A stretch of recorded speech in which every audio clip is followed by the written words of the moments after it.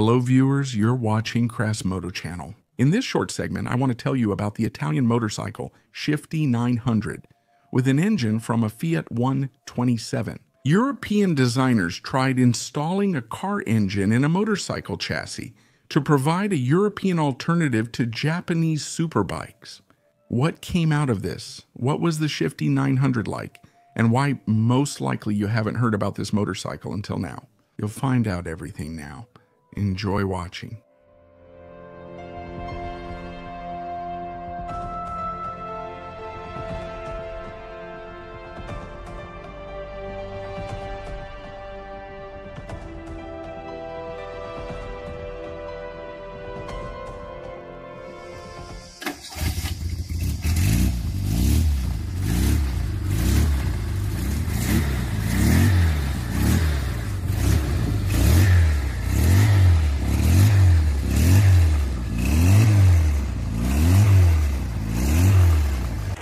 The 70s were a real nightmare for the European motorcycle industry, and some brands couldn't survive this tough period.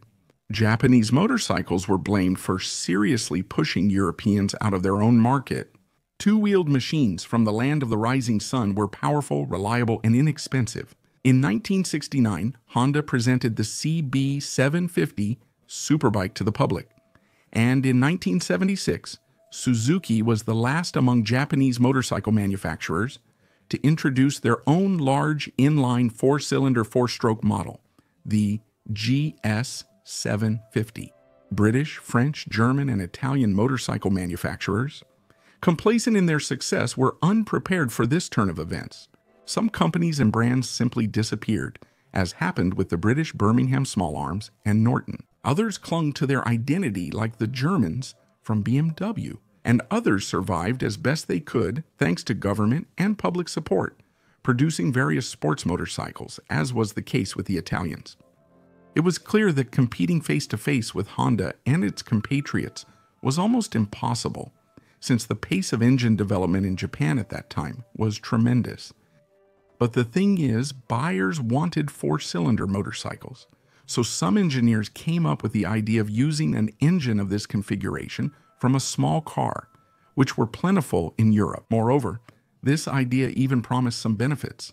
There was no need to spend time and resources developing an engine from scratch. And in the case of maintenance and repair, the mechanic at the service station would be working with a unit he was already familiar with, and spare parts for it could be found at the shop across the street. In general, the idea seemed quite viable. Guided by this idea, a number of motorcycles with car engines were built in France.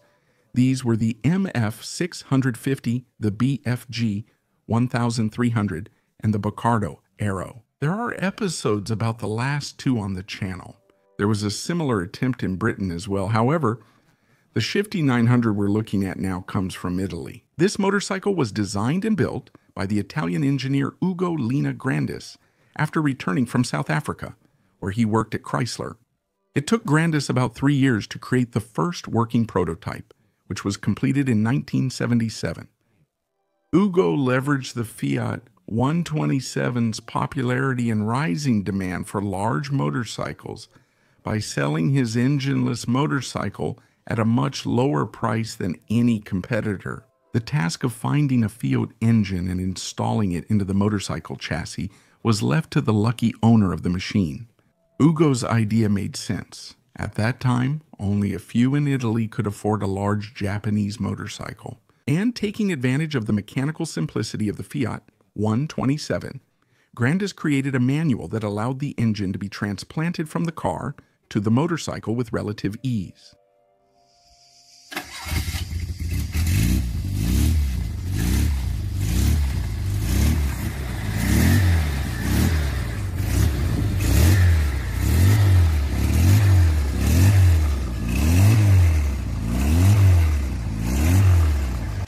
In Busa di Vigonza near Padua, he started small scale motorcycle production of his own design. And to begin with, it was necessary to release a fully finished batch of equipment so that it would appear in journalist reviews and at various events in front of the general public. The first finished motorcycles left the factory gates in 77. The equipment was named Shifty. In English, to shift means to change or move. This name was meant to refer to the fact that moving the engine from a Fiat car into a motorcycle frame is quite a simple task. The engine from the 127 was installed in a tubular steel duplex frame, which was specially designed for this engine. The Fiat Power Unit was a liquid-cooled inline four-cylinder, four-stroke engine with a 903cc displacement.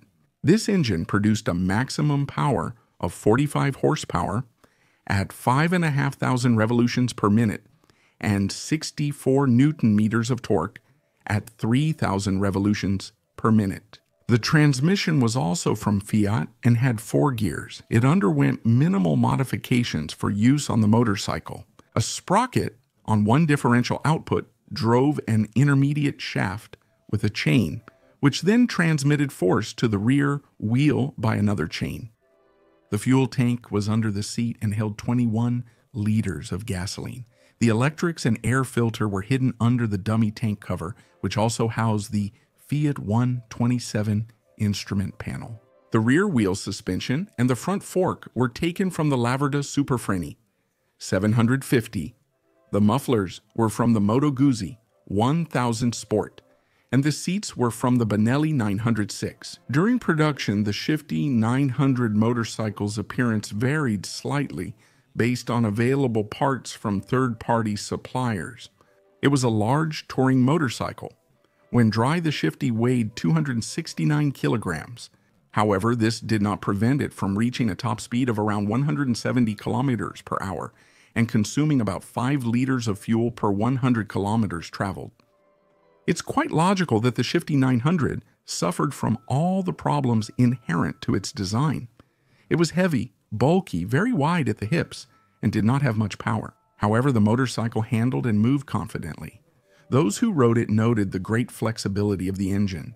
The machine could start moving practically in any gear. The motorcycle was produced through 1982. Despite the fact that Shifty 900 made quite a lot of noise in the media, it did not receive widespread public recognition. Only about 70 units of this machine were built in total. The company of Ugo Grandis went bankrupt in 82, and Ugo himself died in 98 at the age of only 56. This is the story of the Shifty 900 motorcycle, the story of one of the attempts to install a car engine in a motorcycle frame. Today, the Shifty 900 is a collector's item. At this point, my story comes to an end. As always, this was Krasmoto Channel with you. Don't forget to stay active on the channel by leaving comments, sharing, and subscribing. Special thanks to everyone who supports my channel, financially using the details pinned in the description. Thank you for watching and see you next time.